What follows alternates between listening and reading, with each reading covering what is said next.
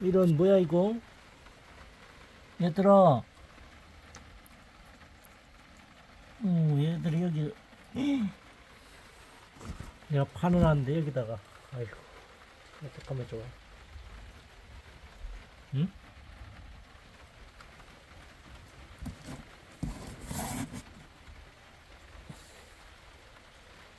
일단 뭐 애미가 있으니까 가자 우리는. 어휴 깜짝 놀랐다 야 여기서 새끼를 낳네. 응? 너 살아있지? 음, 살아있네.